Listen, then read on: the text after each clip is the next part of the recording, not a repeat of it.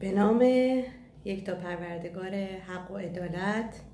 جناب آقای سید علی خامنه ای رهبر جمهوری اسلامی ایران سلام علیکم و یالله امروز پنج شنبه تاریخ سیوم می ماه 2019 ساعت چهار و بیست دقیقه است که خداوند منان لطف کردند.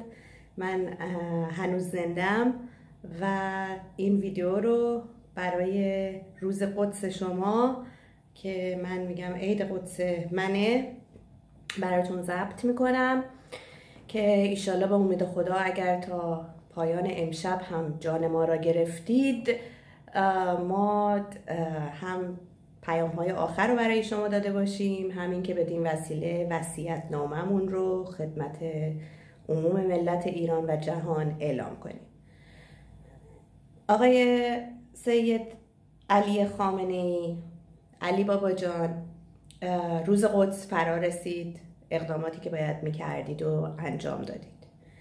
چون که روز قدس یک روز بین المللیه و من نمی‌خوام خیلی زیاده گویی کنم و وقت بگیرم من فقط به دو مورد بند یک و بند شش نامه که برای شما فرستاده بودم اشاره می‌کنم و فقط ازتون یعنی اشاره می‌کنم و خدمتتون عرض می‌کنم که شهرزاد میرقلی خان برای معاخزه کردن آمده است نه برای معاخزه شدن. لذا برای در خصوص بند یک من برمیگردم به فعالیت های بین المللی آقای محمود سیف خریدهایی که خرید تسلیحات نظامی که برای جمهوری اسلامی ایران انجام می‌دادند که این خودش دو بخش بود. یک بخش برای نیروی انتظامی و ضد شورش و حالا ما به هر گونه که باشد می‌گوییم که برای دفاع از مرزهای ایران بوده و داخل ایران و کلا تجهیزاتی که ایشون برای شما برای ایران می‌گرفتن غیر از بخش مربوط به انرژی هسته‌ای هر چه هر آنچه که برای ضد شورش و اینا بوده هر کشوری می‌گیره که مشکلی درش وجود نداره. نکته حائز اهمیت خریدهای داخلی آقای سیف برای شما این نکته بود که من بارها بهش اشاره کردم که ایشون وقتی که سفارشات رو از کشورهای مختلف از طریق شرکت هاشون در امارات می‌دادن خب السی هایی باز می‌کردن که اکثریت قریب به اتفاق این السی ها السی های یوزانس و بک تو بک بود. و کلا در تمام السی هایی که باز کرده بودند کشور مبدع هر جا که بود کشور مقصد ایشون کشور امارات بود و از طریق زیرمیزی دادن و پول دادن به برخی از کارمندهای گمرک تمام مدارک و اسناد محموله های وارد شده به امارات رو جعل اسناد می‌کردن که من به عنوان مثال خدمت شما بگم که یه زمانی یه سری دقیقا من چون تکنیکال نمی‌دونم حالا السیا که از توی کشور امارات در اومد مشخص میشه. ولی یه زمانی یه چیزهایی برای انرژی هسته‌ای شما گرفته بودند که من خاطرم هستش که توی اون مدارک و اسنادی که می‌دیدم محموله رو به نام واردات ساعت رولکس ساعت رولکس که مبلغ السی خب خیلی بالا می‌رفت و اجناس هم خیلی کوچیک بود برای شما به ایران فرستادند. لذا من خدمت شما بگم که در تمام السی هایی که آقای سیف باز می‌کردن تمامی اسناد در کشور امارات با پرداخت رشوه و زیرمیزی به کارمندهای حالا اداره گمرک یا هر اداره که وابسته به ایشون بود بلا استثناء تغییر می‌کرد. حتی نوع کالا در جعل اسنادی که می‌کردن تغییر می‌کرد و تا اونجایی که من یادمه فقط این محموله ها رو به نام خیار و بادمجون و چی میگن خیار چنبر برای شما نفرستاده بودن. یعنی شما از شیر مرغ تا جون آدمیزاد به هر چی که فکر کنین این اسناد تغییر می‌کرد و اینگونه بود که این چیزها وارد ایران می‌شد. بعد خدمت شما عرض کنم که بعد از اینکه حالا قضیه وین پیش اومد و تمام این اتفاقات افتاد آقای سیف شروع کردن خب تمام کارهاشون رو با ثبت شرکت های جدید به نام اماراتی ها به نام مصری ها در کشور امارات انجام دادن و هیچ وقت از این فعالیت هاشون دست بر نداشتند. و نکته خیلی حائز اهمیت حالا غیر از جعل اسناد و اینکه چجوری محموله ها رو میرسوندن این بود که مستاقا خدمت شما قبلا هم عرض کردم. مثلا بنزهای ماشین پلیس این بود به یک مبلغی از شرکت مبدع میخریدن این السی ها رو وقتی برای ایران میفرستادن حداقل سود 100 یا 200 درصدی روی وجه خریداشون اعمال می‌کردن و میفرستادن به شرکتشون در ایران. شرکت هایی که در ایران هم ثبت کرده بودن بدون استثنا همه به نام اشخاص مختلف بود. مدیر عامل های شرکت ها که امضا می کردند این شرکت ها رو در دفتر اسناد رسمی کشور جمهوری اسلامی ایران همشون مستاقن هم آقای شایگان شوهر خواهر خود ایشونو میگم می بردن اینا رو ازشون یک وکالتنامه بلا ازل می گرفتن اینن کاری که مثلا در امارات می کردن. اگر که طرف مصری می آوردن می بردن به نام شریک اماراتی که میشناختن و همکارشون بود یک وکالت بلا ازل از اینها می گرفتند که اینها هیچ حق دخل و تصرفی در امور مالی شرکت ها ندارن و غیر از حقوقی که بابت امضا کردن نامه ها و باز کردن السی ها و اینجور چیزها می‌گیرن هیچ حق و حقوق دیگه ای ندارن. خب سوال من از شما این بود که خیلی خوب آقای سیف که من شاهد ایشون بودم حالا با هر نوعی که تحریم ها رو بخوان دور بزنن و اینا این محموله ها رو میفرستادن به شما داشتن خدمت می‌کردن ولی بخش فساد مالیش چی؟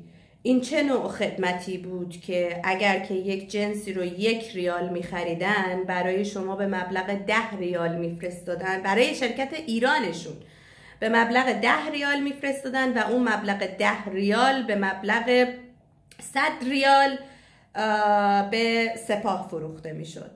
من می‌خوام ببینم که این همه فساد مالی حالا توی جیب خود آقای سیف می‌رفت. در مثلا بانک سپه اسپانیا بانک سپه ایتالیا بانک صادرات در کشورهای اروپایی یا اینکه نه. این هم بخشی از درآمدزایی برای خریدهای آقای سیف برای خارج از کشورتون و جنگهای نیابتیتون بود. حالا به هر نوعی که بوده که کشور و مملکت رو قارت کردن و میگین که خدمات دادن خیلی خوب باشه.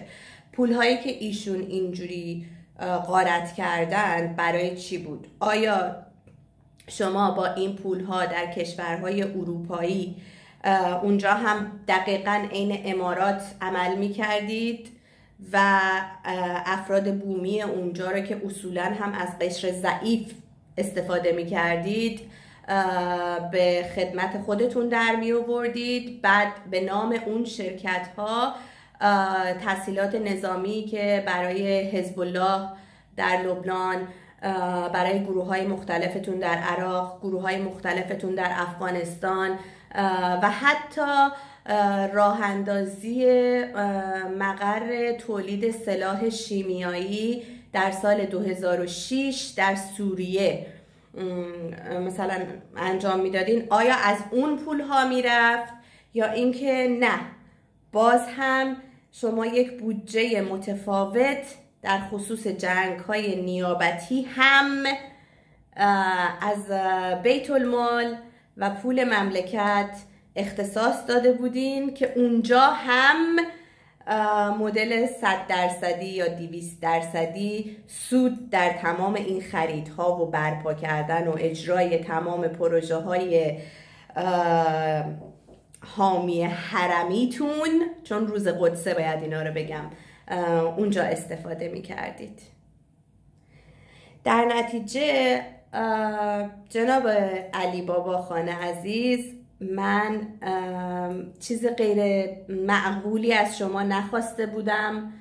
من از شما خواسته بودم که به عنوان رهبری که دلسوز ملت ایران هست روی این هشت بند علل خصوص یک به علاوه شش بند یک و شش اقدام کنید که خب شما تصمیم گرفتید که این گونه نباشد.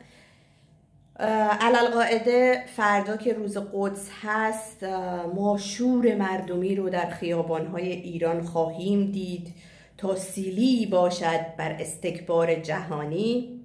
ولی علی بابا استکبار ملی تکلیفش چی میشه؟ شما باز هم میگم برای صادرات ایدئولوژی خودتون مملکت و ملت ایران رو قارت کردید. ملت ایران رو و ملتهای دیگر رو فدا کردید. شما زمان پدر بشار اسد به نام دوست و برای اینکه می‌خواین به اون کشور کمک کنین با پول وارد اون کشور شدین تا بتونین به سلاحهای شیمیایی دسترسی پیدا کنید. بعد از اون چند صد هزار خون سوریه ای ریخته شد. برای چی؟ خارج رو ول می‌کنیم. در داخل ایران چقدر خون بیگناه ریخته شد؟ پیروز خانم میترا استاد به قتل رسید. آقای نجفی رفتند شهادت دادند که ایشان قاتلند. نیروی انتظامی اشتباه کوچکی کرده بود که این موضوع رو رسانه‌ای کرد و سناریوی آقای طائب شما رو به هم ریخت. در داخل ایران برای ملت ایران چیکار کردین که حالا سنگ کشورهای دیگه و ملت فلسطین و ملت سوریه و ملت یمن رو به سینه می‌زنید علی بابا چراغی که به خانه روا بود به مسجد حرام بود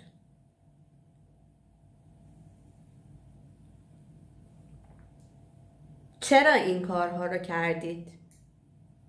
شما زمانی می‌تونید بگید که در مقابل استکبار اسرائیل و آمریکا و انگلیس و تمام کشورهای پول پرست پول پرست که اصلا خدا پرست نیستن بحثشون پوله شما در مقابل اینها ایستادگی کردید و از حق ملت دفاع کردید که قبل از ملت کشورهای دیگر اول از حق و حقوق ملت ایرانی که به دست شما سپرده شده دفاع می کردید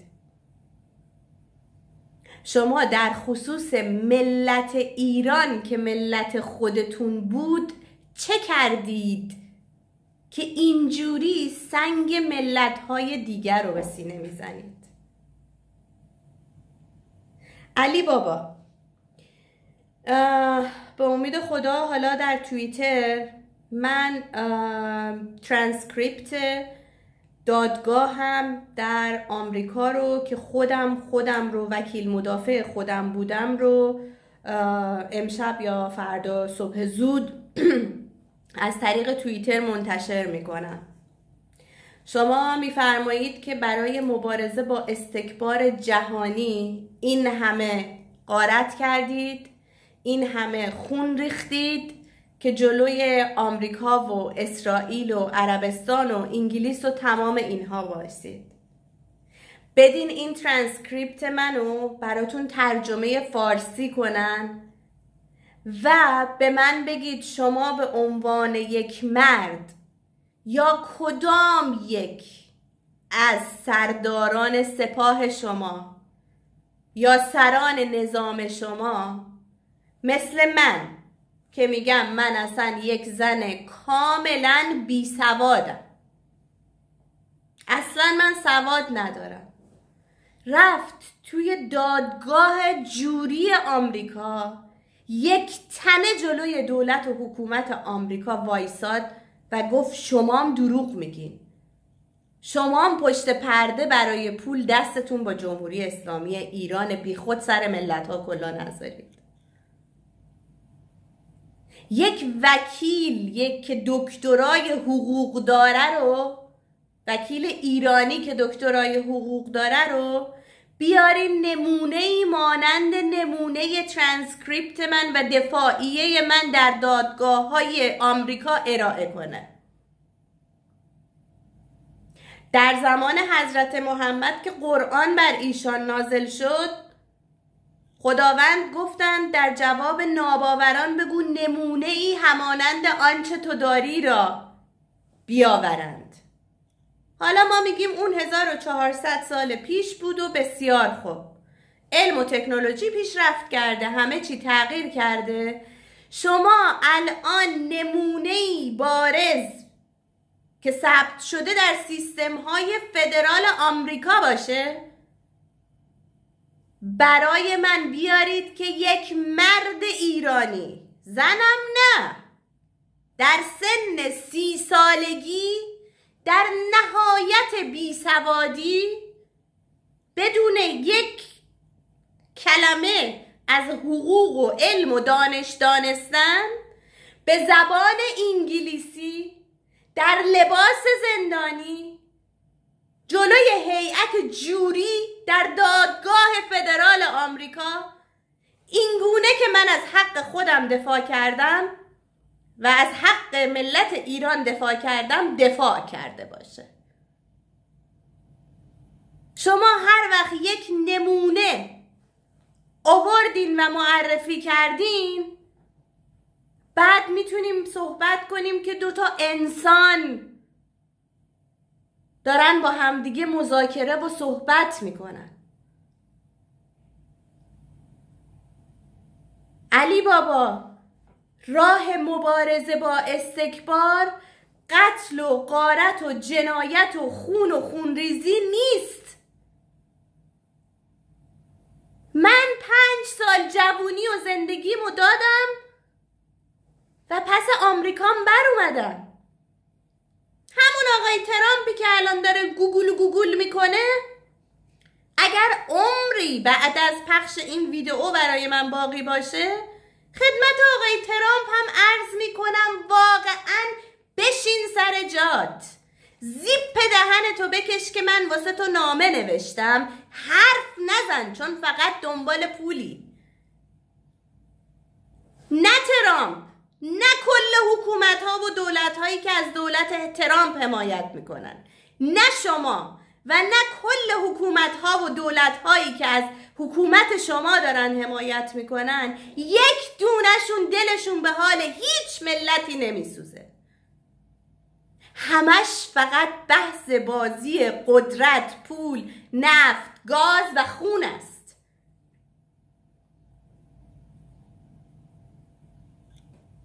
در نتیجه علی بابا بیا عین یک مرد جواب سوالات منو بده. علی بابا نشون بده که در مردانگی غیر از محاسن و یه چیز دیگه غیرت داری شرف داری وجدان داری. علی بابا ثابت کن انسانی. آقای مجتبا خامنه ای که آقا شدی. آقا بیا ثابت کن شرف داری وجدان داری. مردانگی شما هم فقط به محاسن و چیز دیگتون نیست. با اینی که طائب خان در امور داخلی میرن دوربین مخفی می‌ذارن. چه می‌دونم حالا یا یه سری خانم رو میفرستن یا وارد روابط ریز خانوادگی و خصوصی سران و افراد مختلف میشن. بعد عین یک لاشخور این فیلم ها رو می‌برید تهدید می‌کنید که بتونید کدوم کارهاتون رو پیش ببرید. فساد مالی رو بپوشونید یا قتل و غارت ها رو سرپوش بذارید.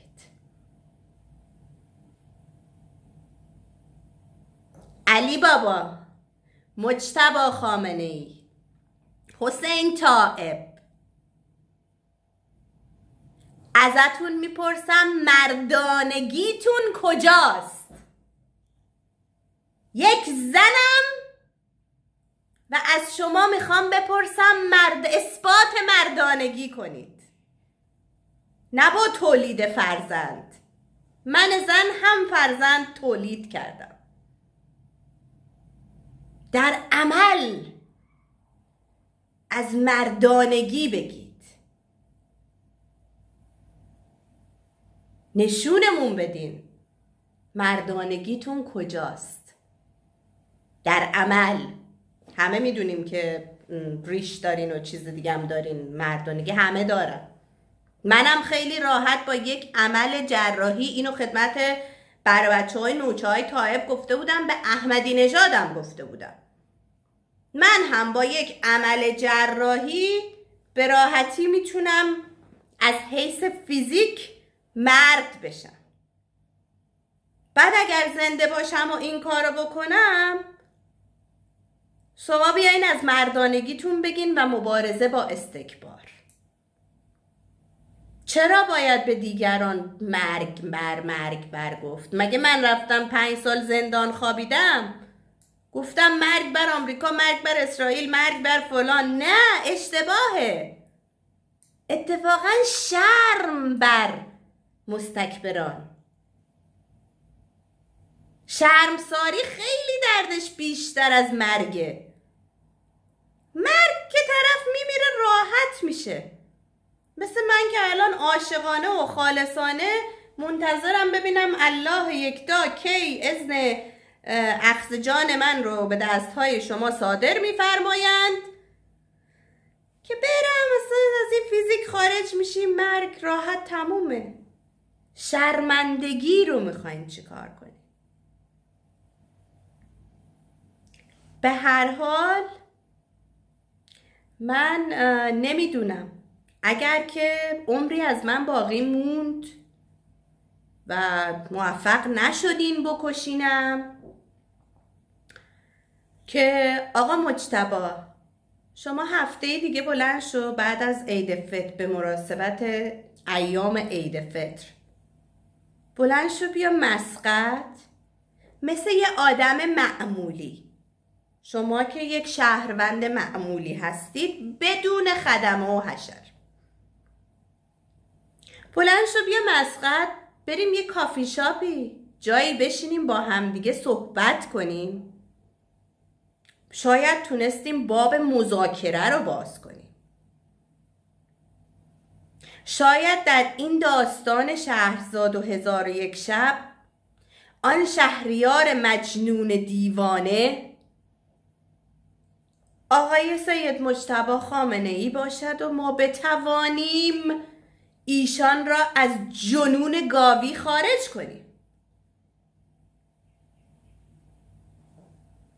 اگر هم که خداوند منان اذن مرگ بنده رو صادر کرده باشن که به دستهای ننگین شما به قتل برسم که من همینجا وصیت می‌کنم.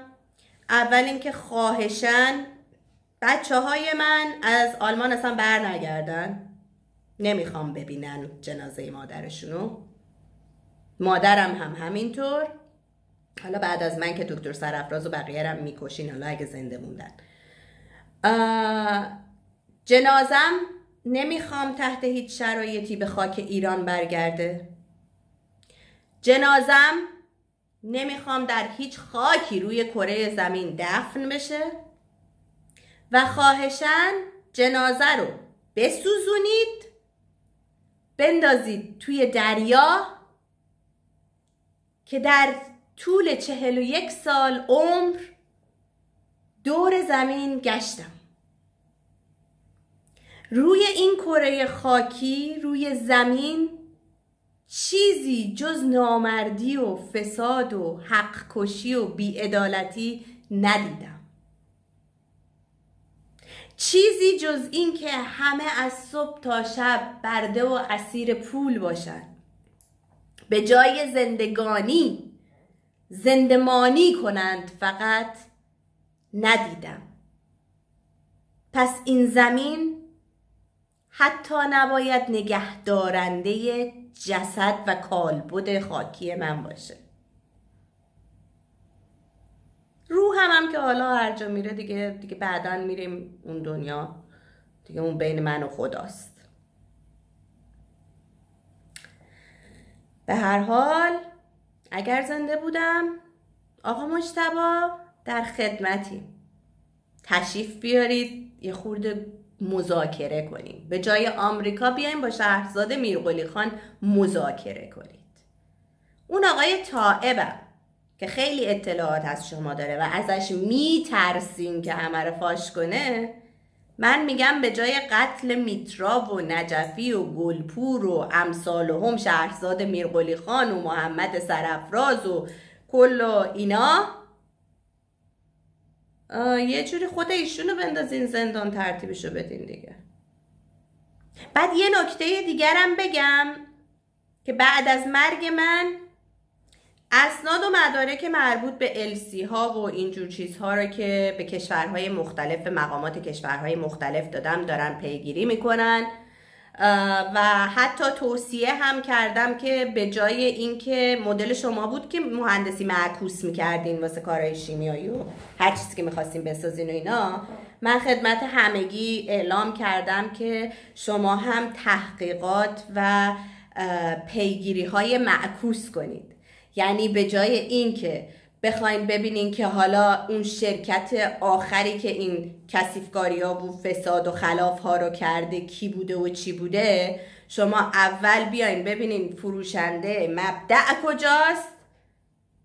بعد از مبدع اگر دیدین که السی ها خریدها به کشور مصر پاکستان روسیه امارات قبل از اینکه روابط ایران و ایران و عربستان به هم بخوره عربستان سعودی عراق لبنان و سوریه رفته بدونین که مربوط به جمهوری اسلامی ایران. گفتم اینم بدونین که من بهشون گفتم. در نتیجه بعد مرگ منم هیچ اتفاقی نمیفته چون اسناد و مدارک همه دست خود اوناست و خودشون می‌دونن چی به چیه. اینم بگم گفته باشم. شما حالا بیاین الان بگین که آقای محمود سیف و مهدادی یعنی محسن سجادی نیا و مهدادی کجان؟ این یه نکترم بکنین چون من نمی‌دونم آقای مهدادی با هویت چه کسی و چه نوع پاسپورتی از ایران خارجش کردیم اونو که من نمی‌دونم. آقای محمود سیفم که گرفتین. علال قاعده تغییر چهره داده. حالا هویت دیگه کارساز نیست تغییر چهره داده. شما الان واسه اثبات این که نه ایشون تغییر چهره نداده. محمود سیف شده محسن سجادی نیا و شما مثلا گرفتین و انداختینش تو زندان. بعد ایشونو بیارین علنی کنین. این دوتا کجا؟ من اصلا کاری فعلا به بقیه ندارم. امور ملی که مربوط به امور سازمان صدا و سیما میشه عمری باقی بود. هستیم. اگر هم که نه که هیچی دیگه. حالا اونا دیگه بحث ملی دیگه خود بعضی دیگه راه ما رو ادامه میدن. و روز قدستان مبارک باد. شهرزاد میرقلی خان یک مرد عمله. تا آخرین نفس وای میسه و خلف وعده نمی‌کنه. ببینیم حالا شما در روز قدس چه کارهایی می‌خواهید بکنید. راهاتون در خارج از ایران بسته شده. جنگ هم جنگ جهانی شد. همه مردیم بالا. میبینیمتون؟ جنگی بود که فقط شما از بین رفتین. بازم اون دنیا در خدمتی روزگاران بر شما خوب و خوش و سلامت و این بار منتظر جوابم.